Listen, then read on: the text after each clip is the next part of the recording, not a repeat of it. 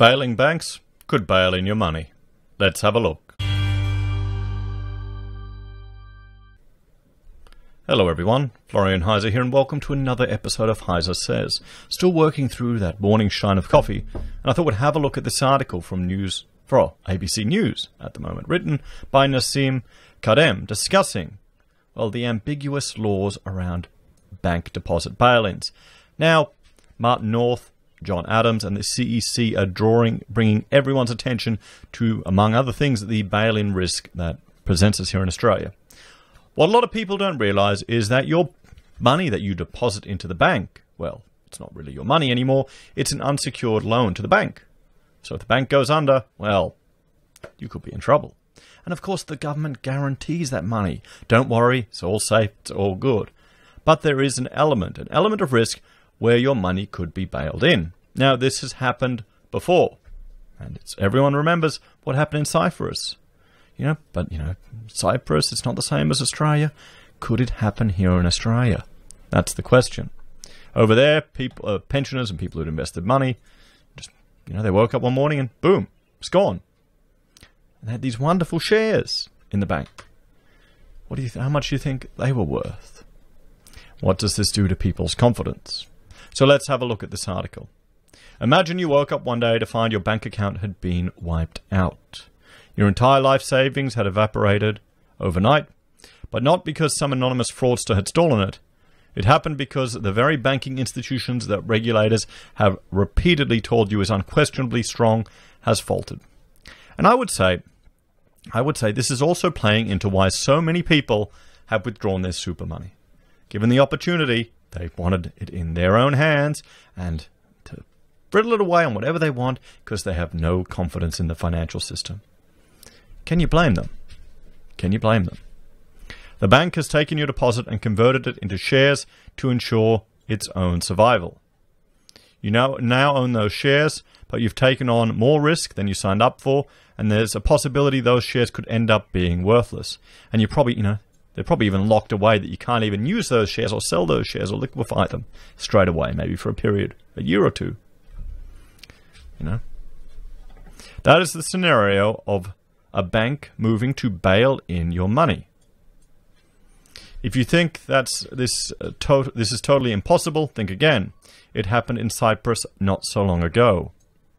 While a bail-in situation in Australia is currently a highly um, improbable scenario, people are feeling more nervous about their financial future amid the pandemic crisis and deepest recession since the Depression. Now, strategies for minimizing this risk. I know Martin North has talked about it in some of his videos about because there's bank guarantees from the government depending on institutions, but you know you've got multiple institutions covered by the same one. So the strategy is to to spread out your resources. And I'd point you to some of his videos to have a look at where he discusses that.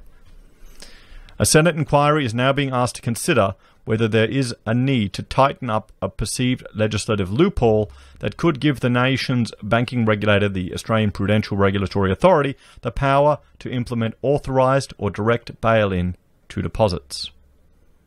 I mean, there you go. Would you want that? I mean, here, here we go. If this was publicly, if you know people were made aware of this, and then there was another bank, another one coming onto the scene, saying, you know, we will pay you low interest rates, you know, but we will not bail in your money. You know, we're just simply a deposit holding and, and we lend on low risk products. Would you move your money to that? Would that fill you with confidence? So, is Australia at risk of an imminent bail-in? Before understanding the history behind the current Senate inquiry, it is worth noting Australian banks are not in the same boat as the Cyprus banks were in 2013. Well, yeah, yeah that's true. Our banks are still well, capitalized and profitable and are being supported by regulators throughout the crisis. Furthermore, should their situation deteriorate because of the pandemic, the federal government has repeatedly vowed it will protect Australians' bank deposits. Under the financial claims scheme, Australians' savings with authorised deposit taking institutions, ADIs, are guaranteed for deposits of up to 250,000 per institution. If someone has two different accounts with the same bank, even if under under different brands, the limit applies. So, so there you go. You're capped at 250. So you need to find, you need to find several different uh, banks that are not the same brand, so not the same ownership, to split up your money, which probably isn't isn't a silly thing to do anyway.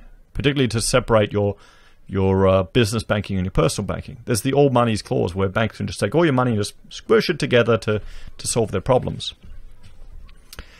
This deposit guarantee effectively commits the government to the opposite of a bail in. It is a bailout. It is a, it is also a highly pol- uh, political unpalatable and therefore extremely unlikely that APRA would move to direct banks to bail in people's deposits. Yeah, I mean that would be insane. Could could you imagine if any political party were in power when this happened, they would never get in again. They would ne- so what would happen is say say if there was a risk, they would do everything they could to kick the can down the road for the next lot, you know, the next mob to get in. Guaranteed, that's what they're trying to do. After all, a core part of APRA's mandate is to protect the interests of depositors, policyholders, and superannuation fund members. And as the Cyprus case showed, retaining the confidence of retail depositors during a crisis is crucial to avoiding wider financial contagion. Nevertheless, the mortgage loan books of Australia's lenders has risen to almost 2 trillion. And as many economic commentators and the IMF have warned for years, if property values suddenly plummet, that could could turn into a huge liability and pose a risk to banks and the wider financial system. Well, isn't that why? Isn't that why the banks no longer have to revalue their holdings? They've kind of got a holiday from that.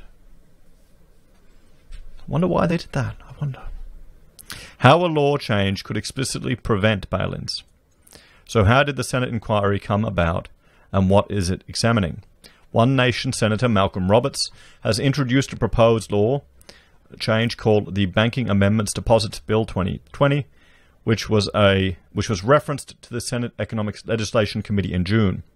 In his words, the bill stops failed banks taking our money. The fear about legislative loopholes initially surfaced following the GFC when a number of concerned individuals with links to the far right political party CEC started writing letters to their local MPs. Well, I mean, it's justified. Look at what happened in the US, guys. The party is accused of being affiliated with the International LaRouche movement, which was led by the American political activist Lyndon LaRouche, who, whose critics describes as a uh, political cult and promotes conspiracy theories and anti Semitism. Okay, well, you can look into the CEC for all of this, and this seems to be the standard boilerplate whenever they, they discuss the CEC. But the issue is, the issue is, uh, if there is a potential risk for banks bailing in, which we've seen has happened overseas, what would it hurt to have some legislation? And I've I've read the bill, the proposed amendment that Senator Malcolm Roberts is putting forward, and I'll link to that video up here. I'm just looking at my my timestamps. I'll link to it up here. What he's talking or doing is not, or what he's suggesting in this bill isn't that isn't that drastic, everyone. If it's not going to happen, it won't hurt. This is this is a, a change which would protect deposits, costs nothing, costs absolutely nothing. I mean, the politicians are sitting there anyway. Why not? Why not? The CEC, including its research director, uh, Robert Barwick, were asking for changes to the law that enshrined that their deposits are in fact safe following legislation known as the Financial Sector Legislation Amendment, Crisis Resolution Powers and Other Measures Bill 2017. This legislation gave APRA the power to allow a bail in financial instrument known as hybrid securities, a financial instrument described at the time by the former ASIC chairman, Greg Medcraft, as a ticking time bomb. So here's the thing notice this they're attempting to in this article, they're attempting to frame the CEC in a particular ideological way and linking them to certain things that even if they have a idea that is sensible, uh, you, it'll discredit it. And you'll find this happens a lot in the media, and you find this happens a lot just with how they're putting things forward. You know. Around that time, the Senate Standing Committee on Economics, which was chaired by Senator Jane Hume, examined the law surrounding bail in of hybrid securities. It said it did not consider that the bill would allow the bail ins of Australian savings and deposits since depositors are protected by both the FCS and under the Banking Act. The legislation passed in 2018. Now, fast forward to 2020, with fears of a financial meltdown heightened as Australians lose their jobs, JobKeeper payments are about to taper off, and bank loan repayment holidays are coming to an end. I mean, just think about this. The, I mean, the banks are giving so many people holidays on their mortgages. I, I wouldn't have even thought it would have been possible. You know, but that just shows you how, how naive I am. You know, expecting people having to pay their debts. The Senate has already been hit with about 200 submissions, mostly from self funded retirees and older Australians who have accumulated life savings and therefore have large deposits in the bank. These submissions all run along a similar theme the need to remove all legislative uncertainty to stop the leg- uh, legislative theft of bank deposit savings. For these citizens, in the aftermath of the Banking Royal Commission, uh, verbal assurances from APRA and the Reserve Bank of Australia and political leaders just aren't enough. Well, yeah, that's right. They said if the government and regulators are serious about protecting people's deposits, there should be no ambiguity in the law. They want the Banking Act amended. And the amendment that they're asking for isn't that big a deal. You know? Those who argue the law is ambiguous rely on one legal opinion. So is the current legislation ambiguous? Most of the individual submissions that argue the law is vague and are in support of the bill passing rely on one legal opinion, that of Robert H. Butler, a solicitor from Chatswood in Sydney and member of the CEC. Mr. Butler points out two problems with the existing laws. First, he says that the 2018 Act that allows bail ins of hybrid securities, in referring to them, also uses the word and other instruments without defining what this means. Mr. Butler argues that bank deposits could be other instruments. He acknowledges that the government has contended that these words do not extend to deposits, but said the reference to any other instrument would be unnecessary if the power only applied to instruments with conventions or write off provisions, or conversion or write off provisions. Bloody lawyers. Secondly, Mr. Butler argues that even if the words any other instrument don't encompass deposits, the bank themselves could change certain terms and conditions and draw on the deposits. The specifics of the powers vary from bank to bank, but each fundamental each fundamentally contains such a power, Mr. Butler said. The Treasury say the bill is unnecessary. Treasury and the Australian Banking Association have swiftly rejected the argument that the law is ambiguous. Treasury says in its submission that the bill uh, that it considers the bill to be unnecessary. It says that there are currently two explicit legislative provisions in the Banking Act specifically directed to protecting deposits. First, Section 13A3 of the Banking Act provides for priority repayments of protected accounts, including deposit accounts, within the meaning of the bill. It is unlikely even that the ADI were unable to meet its obligations. Sorry, in the unlikely event that an ADI, Australian Deposit authorised deposit institution, were unable to meet its obligations, it said. Second, Part 2, Division 2AA of the Banking Act establishes the FCS. The FCF guarantees protected accounts, including deposit accounts within the meaning of the bill, up to a cap of 250,000 per account holder per ADI. Treasury also says the reference to other instruments relates to the theoretical possibility of recognizing other classes of capital investments in the future. Import- importantly, the reference to other instruments could never uh, relevantly apply to deposit accounts because the contractual terms of deposit accounts invariably provides for full repayment of principal and interest subject to fees. So, ex banking lobbyists say deposits should be up for grabs. That they should be up for grabs. So, I'm going to keep going with the coffee here it really, all of this really just makes you want to turn into a prepper. You know, get a little mountain mountain bunker with your with your piles of gold and silver and US dollars. Interesting, or maybe I've just been playing too much Far Cry 5. Interestingly, some argue that bill should be changed to do the exact, exact opposite. The Banking Act should make it explicit that bank deposits are at some risk of write off or conversion to shares. Nick Hossack, a public policy consultant, former director of the Australian Banking Association, and former advisor to John Howard, is making that argument. If legal clarity is the goal, then it would be better for market discipline of banks to be clear in the legislation that depositors do face some risk of write off or conversion to shares, his submission states. Well, wouldn't you rather that? If there's the risk of it happening, he makes a good point there. I may not, you know, I may not want that to happen, but if there's that risk, don't you want to be made aware of it? And then what demands would you put on the bank if you're at that risk? Mr. Hossack argues bank shareholders and executives have financial incentives to take levels of lending risk that exceeds the socially optimal level of risk. The bill, in effect, shifts bank lending risk back onto taxpayers, he said. With smaller banks, there was a feasibility option of government authorities allowing a failure and putting the bank through an insolvency process where there is at least some risk that depositors will lose money but allowing a failure of big banks was not a realistic option. So, could banks change terms and conditions against depositors? Martin North from the research firm Digital Finance Analytics, together with former Liberal economics advisor John Adams, has been making regular YouTube videos on the possibilities of bail ins. Both North and Adams argue, in separate submissions, that big banks have already changed their terms in the last in the past few years.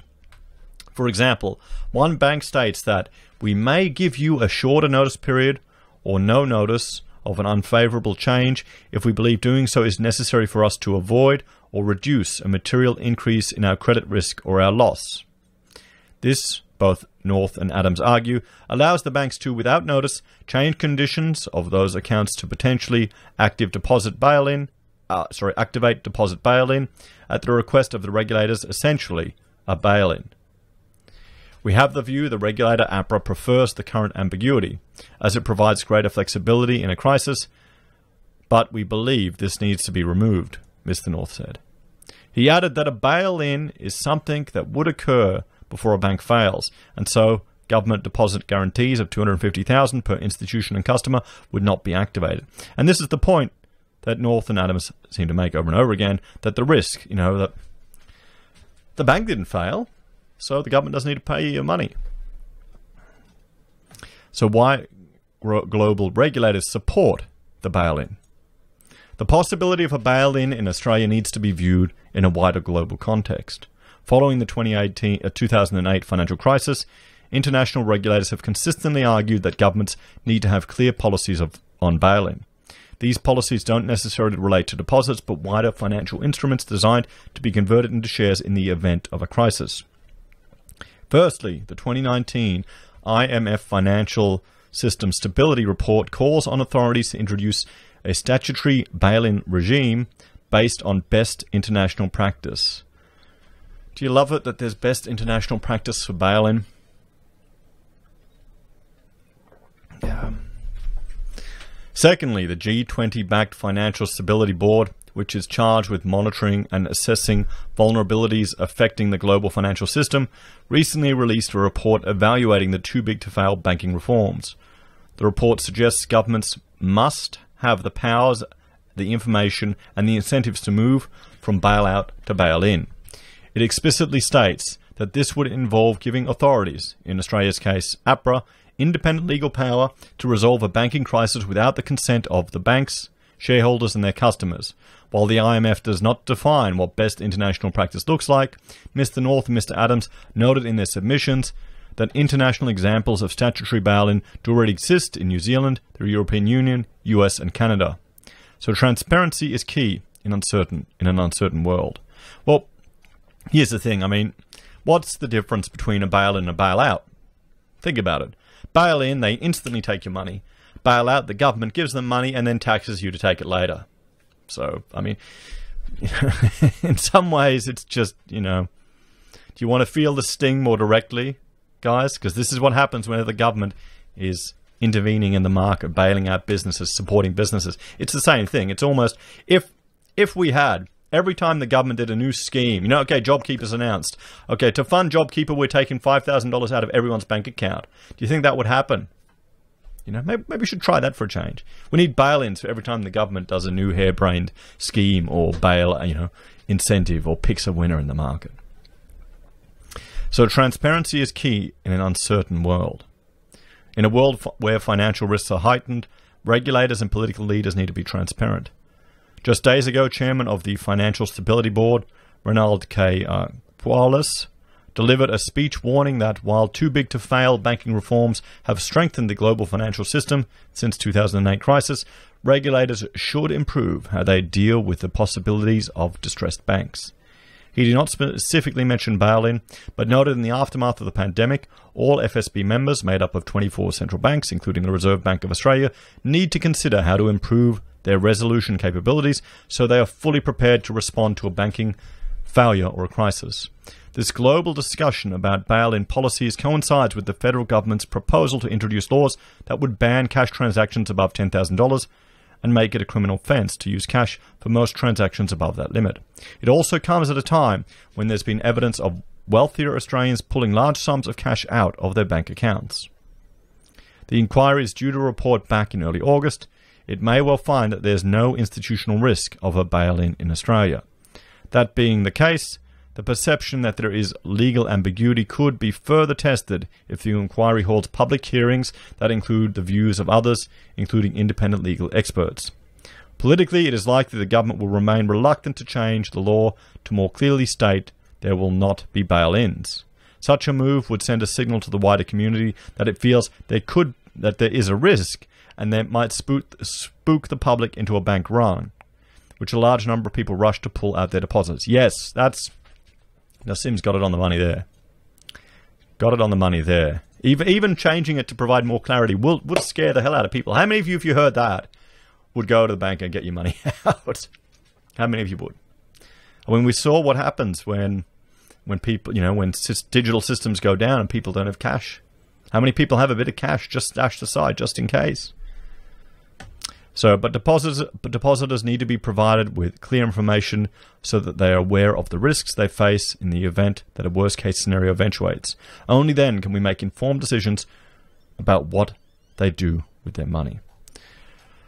Well, there you have it. A quite a long and thorough article. That's uh, I'm pretty tired going through that one. Written by Nassim, looking at well the bank bail-ins that's doing the rounds. I think a lot of people just well, frankly, they probably don't have enough money to care about it. Or a lot of people aren't even worried about it. How many people didn't even realize? Have you spoken to that? Aren't even aware there's the $10,000 cash spending limit going about. So it's good that it's getting some exposure. It's good that articles are being written about it and people are discussing it. And I mean, frankly, it's good that One Nation are putting forward amendments to give us more clarity. I think that's fantastic. Let me know, guys. Are you concerned about a bank bail-in? Do you remember what happened in Cyprus? What have you done to mitigate your risk? As always, let me know your thoughts and opinions in the comments below. If there is a risk of bank bail-in, do you think people will just start flooding the property market? Maybe, maybe they'll do that. Maybe they'll do that. They'll say, "Oh well, you might as well buy houses." You know, bail-in risk. Hey, they're spending more than ever in history. Why not? Thanks for watching. Please like, share, and subscribe to the channel. Let me know your thoughts and opinions in the comments below. If you're a fan and want to support the content I'm creating here, there are a few ways you can. You can join us on YouTube or Patreon. You can support us using our affiliate links at Amazon, eBay, Independent Reserve, or KuCoin. You can buy a merch from Heise Says. You can use Gold Pass from the Perth Mint or support us via PayPal. Thanks, everyone. I'll see you next time.